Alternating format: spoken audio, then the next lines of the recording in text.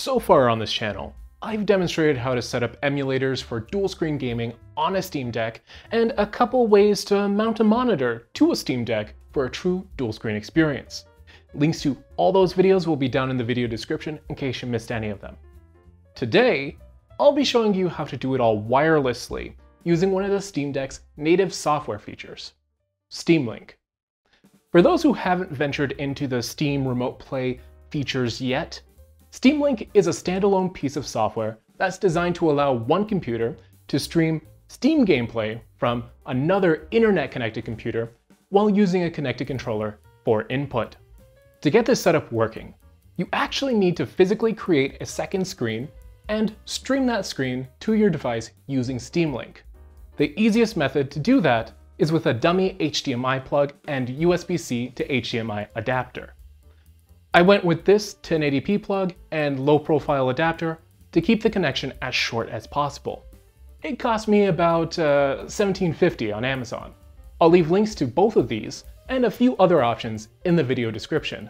To start the setup, connect the plug to the Steam Deck using the adapter. Once connected, the plug mimics the signal of a standalone display, making the Steam Deck think it has a second display connected.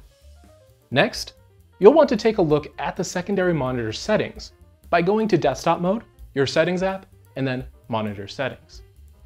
At this point, you should see two displays, one that's built in and another with a name created by your plug. If not, check that your plug and adapter are connected properly. If so, you'll want to update a few settings if they weren't updated automatically. First, make sure you're extending your internal display instead of mirroring it. To do this, make sure the box next to the Replica of option reads None, while the plug's display is selected.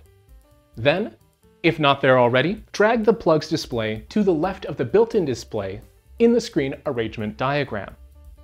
Finally, set your resolution appropriately.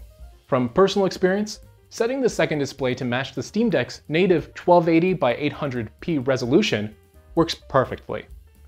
If you want higher resolution or different aspect ratios, feel free to give it a shot. Just know that it'll take some trial and error as well as some potential fiddling with both the windows of your apps and Steam Link settings to get it working right. Once the second display settings have been set, open up Steam Link on whatever device you want to stream to and start streaming. If this is your first time using Steam Link to connect your two devices, you may be prompted to enter a code on your secondary device before connecting. This should show automatically on your devices. If not, you can input the code manually by selecting the Other Computer option in Steam Link to get the code. Then you'll go into your Steam settings on your Steam Deck, navigate to your Remote Play settings, select the option to set up Steam Link, and enter the code from your second device there. Once connected via the link, your Steam Deck should show a completely different screen compared to your other device. If so, Success. Simply launch Cemu or Citra or whatever app you want with the touchscreen separated out. Put the touchscreen on your Steam Deck and the other screen on your other display and start playing. As long as you follow the steps, everything should just work. From here, if you feel like tinkering more, there are also a variety of settings in the Steam Link app that you can tweak for higher quality streaming. Just note that changing those settings might either make the connection less stable or require you to update your display settings. So yeah, that's honestly all there is to it. No awkward virtual machines, no command line inputs, no special software, just less than $20 of hardware, some alterations to display settings, and the native functions of Steam. All of which works exceedingly well in my time using it. There are some caveats to consider though.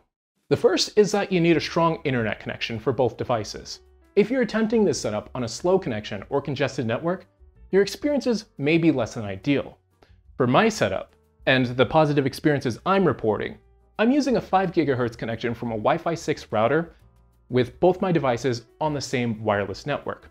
I'm also averaging around 300 to 500 megabits per second on either connection while having a ton of other devices using my network even with those caveats. This setup is extremely flexible and should allow you to bring out the Steam Deck's inner Wii U gamepad without too much hassle. That's especially true considering Steam Link can be run on a multitude of operating systems, including macOS, Windows, Linux, Android, iOS, or even Tizen, as well as any display with a display import if you don't mind using the Steam Link set-top box. Additionally, you could likely swap the Steam Deck with other handheld PCs running Linux to the same effect. Reversing the connection and using something lightweight like a phone or an ARM-based Surface Pro 9, which can't usually run Cemu, could also work fine. Although, it's important to note that Steam Link works slightly differently depending on the device it's streaming from. If you're streaming from a laptop or desktop, usually running like Windows or something, Big Picture mode will likely launch by default, and you'll need to exit out of it to set up your connection properly. Usually that shouldn't pose any issues, but I have experienced some Steam Link crashes on macOS while trying to change settings. Connecting your controller to the device being streamed to may also result in some awkwardness. Again, your mileage may vary depending on your setup. Just note that this dual screen method may require some fiddling when you go beyond streaming a Steam Deck to another display. Now, with regards to performance, it's important to note that there's always going to be some lag added to the mix while streaming. You should kinda expect that already, considering we're streaming the gameplay wirelessly. Connecting your Steam Deck to a USB-C monitor will always be the better quality option available for dual screen gaming. It's just less convenient. Nevertheless, I personally haven't noticed the added lag too much in the dozen or so games I've tried across Cemu and Citra running on the Steam Deck.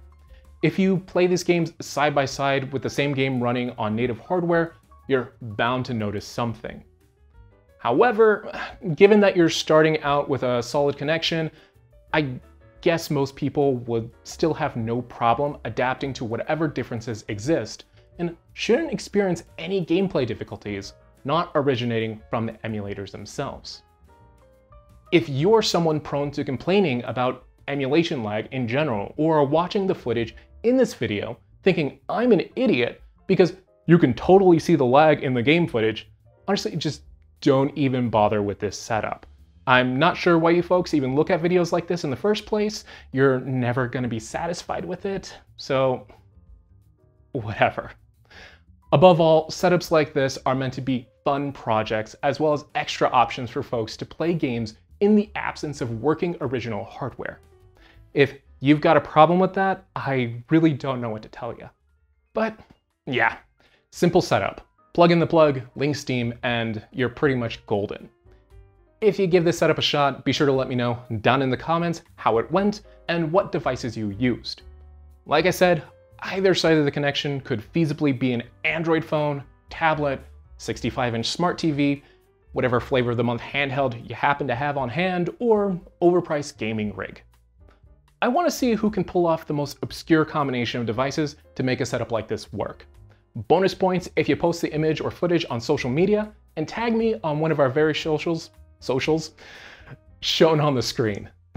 As always, if this video was helpful or informative, go ahead and give it a like, then get subscribed for more handheld content in the future. For folks interested in a written guide, I'll have a PDF containing step-by-step -step instructions downloadable for free over on Patreon. Again, link in the description alongside links to everything else mentioned in this video. If you have any difficulties getting anything working, also feel free to leave a comment either here, on Patreon, or via message on the socials, and I'll see what I can do to help. That'll be all for this video though. Until next time, catch you later.